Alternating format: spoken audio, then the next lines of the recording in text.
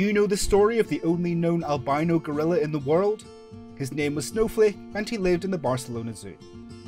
In this AnimalWised video, we explain everything about his fascinating story.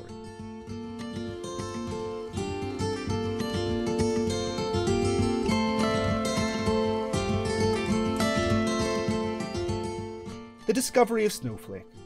This curious white gorilla was found in what is now Equatorial Guinea in 1966. A group of farmers went in search of a troop of gorillas that had been eating their coffee and banana crops in the Rio Muni jungle. They intended to kill them to prevent further crop destruction. Thinking they had killed the whole group, in the arms of a dead adult, they found a baby gorilla, white in colour.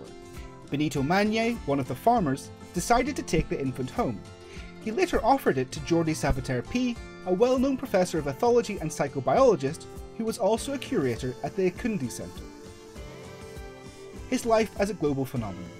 After spending a month in Ikunde, Jordi Sabater Pi took Snowflake to the city of Barcelona. During his first 11 months, he lived in the home of the Barcelona Zoo veterinarian and his wife. Later, he was transferred to the Barcelona Zoo proper, where he began his time as a global phenomenon. Since an article was published about him in the National Geographic, Snowflake became world famous. This adorable gorilla became the symbol of Barcelona, and thousands of people travelled to the city to meet him. Why was he white? Snowflake was white because he was an albino. Albinism is caused by a lack of melanin in the cells, the substance that gives pigmentation to the eyes and skin.